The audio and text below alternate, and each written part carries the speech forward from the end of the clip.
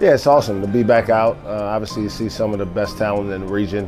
Um, it's been a year and a half since we've been able to evaluate these kids, and I'm happy for them that they're having an opportunity to be seen. But I'm also happy for us that we've been able to do our jobs. You know, we all been through a tough time in the last year and a half with the pandemic, and that we're coming out of it and being able to get back to some normalcy is pretty, uh, pretty refreshing.